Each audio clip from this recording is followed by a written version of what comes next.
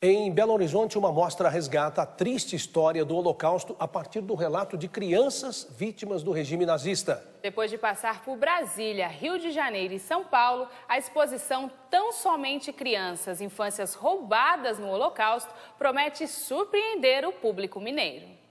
As feições indefesas retratam a fragilidade destas crianças diante de atitudes desumanas do Holocausto.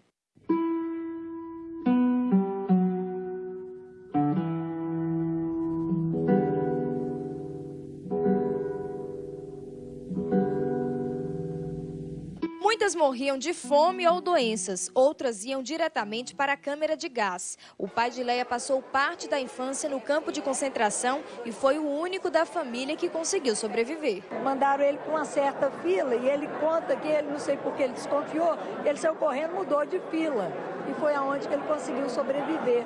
Porque naquela outra fila todo mundo não voltou mais. Durante a Segunda Guerra Mundial, campos de concentração e cidades cercadas pelo regime nazista de Adolf Hitler foram o palco de cenas de intolerância e racismo. O Holocausto foi um dos genocídios mais bárbaros que a humanidade já presenciou. Em nome de uma pretensa purificação da raça humana, os nazistas exterminaram cerca de 6 milhões de judeus, dentre eles, um milhão e meio de crianças inocentes.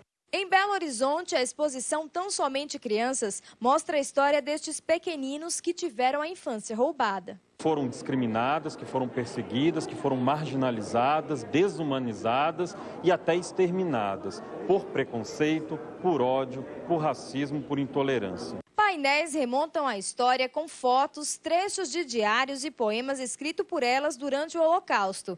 Aqui a escrita parece dar forma à história. Talvez seja a última vez que possa escrever. Eles ameaçaram liquidar o gueto inteiro.